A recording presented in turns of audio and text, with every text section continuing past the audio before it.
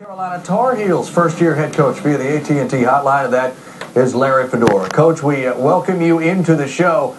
How would you gauge today as your first signing day at North Carolina? Well, I thought today was awesome. You know, it really was. It was a, it was a great day. We've got uh, 23 new Tar Heels that are excited about being here and ready to get going. Who are a couple of guys that, that might have excited the room the most when you look at guys you can get on that football field this fall? Well, we had one surprise that jumped in at the end. Uh, a, a kid out of uh, Gaffney, South Carolina, a parade All-American and Gatorade Player of the Year in South Carolina by the name of Quinshad Davis, a six foot four, 185 pound, 190 pound wide receiver. That uh, we had no idea that that uh, that he was going to jump in the boat with us. So he uh, he really that really got uh, got everybody excited. Larry, I, I I know you are an excited guy, and we love to hear it. And I want to have you do this because I live in Charlotte. We're here in Charlotte, and I've heard you on Charlotte radio pitch your program, but maybe the country hasn't gotten to. What are you telling these kids when you sit in their living rooms?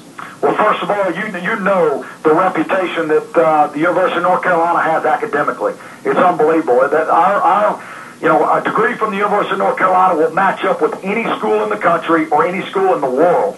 And so that's that's first, and uh, that's number one. So number two is we have great facilities here. You know, we've got great crowd support. We have great financial support. And then on top of it all, the, the place, everybody's just hungry to have, you know, have it explode. And it's ready. It's the right time. It's the perfect time to be at the University of North Carolina because it's fixed to explode.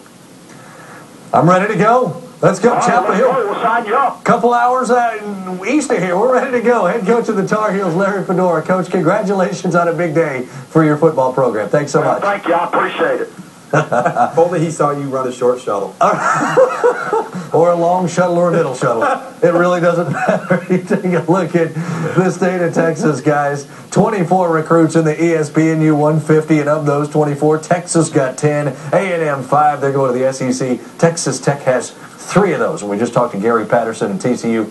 Uh, they did get one. But let's talk about Texas Tech for a bit, shall we? As we bring in the head coach of the Red Raiders, Tommy Tuberville. Good class you've put together, coach. What's your impression of it? Well, I wish I had as much enthusiasm as Larry does. My goodness, you know, it's uh, I'm worn out. You know, it's uh, it's been a long recruiting year, and you, you know, you recruit. of the program, both offensively and defensively, so they can grow within the system they were recruited for. You guys good? I'm going to go Chapel Hill. Play for Larry Fedora. Do some box stuff? Yeah. I'll see you guys later. Did he see your?